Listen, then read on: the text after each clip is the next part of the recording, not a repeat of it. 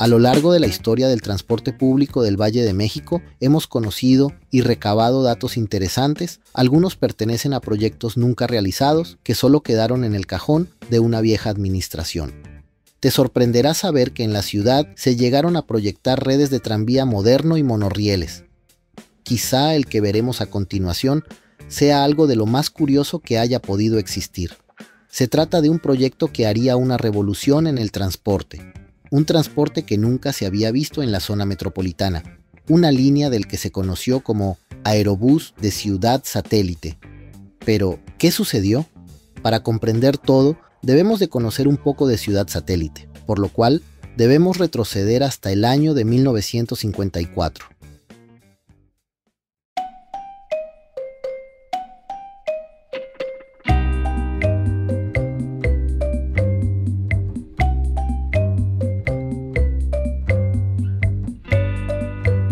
Concebida por los arquitectos mexicanos Mario Pani y José Luis Cuevas en 1954 como una ciudad fuera de la ciudad, fue uno de los proyectos de urbanismo mexicano más importantes y ambiciosos del siglo XX a pesar de haber sido planeada como una ciudad satélite orbitando al Distrito Federal debido al crecimiento económico y a la rápida expansión de la capital a partir de los años 50, el fraccionamiento se convirtió en el núcleo económico y social de la expansión territorial de la zona norponiente del DF a la que muchos capitalinos se refieren también de forma errónea con el nombre genérico de satélite. A principios de la década de los 50 del siglo XX, en los terrenos que pertenecían al rancho Los Pirules, propiedad del expresidente Miguel Alemán Valdés, se puso en marcha un proyecto de urbanización de grandes dimensiones, tomando como base principal la creación de un modelo urbanístico diferente al que se había observado en la Ciudad de México.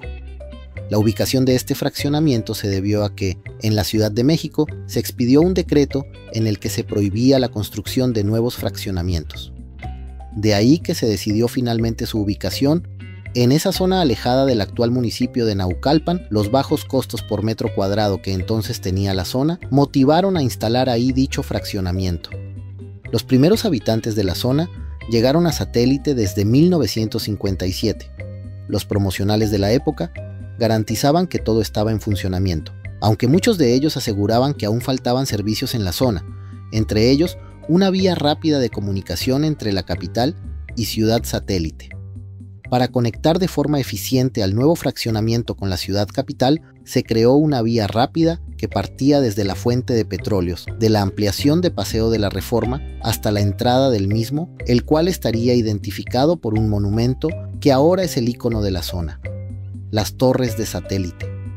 Con el éxito de este fraccionamiento, se sumaron más colonias y fraccionamientos a la zona, haciendo que la vía rápida original pasara a ser el actual Anillo Periférico Norte. Ciudad Satélite se caracterizó, entre otras cosas, por sus emblemáticas torres, pero también llamaban la atención el trazado de sus calles y su desarrollo inmobiliario. Pero había más proyectos que pretendían darle a esta comunidad un toque más futurista, como la construcción de una plaza comercial y un aerobús.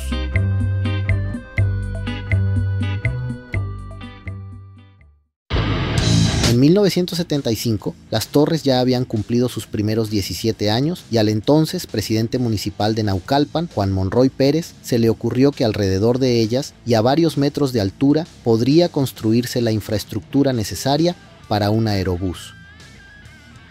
El primer número de la Gaceta Radar, publicación que circulaba únicamente en Ciudad Satélite, dirigida por Carlos Flores Muñoz, dio a conocer en su portada este proyecto. Incluso se crearon varios bosquejos en donde mostraban el nuevo transporte rodear a las torres por rieles elevados, los cuales soportarían a estos autobuses. Se sabe que el proyecto pretendía tener una ruta que partiría de Ciudad Satélite a Tacuba, pasando por el centro de Naucalpan. A su vez, conectaría con la entonces terminal de la línea 2 del metro de la Ciudad de México. Según lo descrito por la publicación Radar, el presidente municipal de aquel entonces, Juan Monroy Pérez, viajó a Mannheim, Alemania, para definir los pormenores de la compra del aerobús y tramitar un crédito por 187 millones de pesos para su adquisición a una empresa en Suiza. Esto incluía los carros que recorrerían los cielos a través de una serie de cables suspendidos entre torres. El llamado tren vertebrado tendría la última novedad en tecnología para la comodidad del pasajero, contando con aire acondicionado y con capacidad para transportar hasta 50.000 pasajeros al día. La Gaceta hace mención de que el presidente municipal daría el banderazo inicial a las obras de construcción antes de concluir el año 1975 para terminarlo lo más pronto posible. Era algo que quizá nadie imaginaba, pero al ver lo que se estaba planteando hacía pensar lo contrario. La gente de aquellos años quedó fascinada con la construcción del metro en la capital que hacían pensar que lo del aerobús sería una realidad. Esto fue una ilusión para muchos habitantes del fraccionamiento a quienes se les prometió un transporte rápido y moderno para la época. Pero al final nada de esto se construyó. Es más, no hubo mención alguna de esto tiempo después de su anuncio. La única prueba que existe de su proyección es esta imagen de la Gaceta Radar.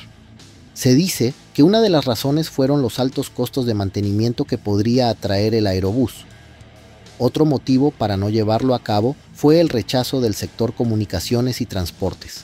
Recordemos que en aquel momento se desechó la idea de construir medios de transporte masivo para beneficiar a las empresas camioneras de la ciudad por orden presidencial.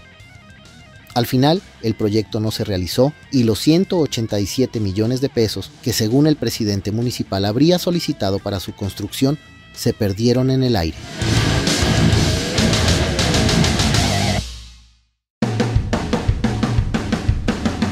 Es una lástima que el aerobús no haya prosperado.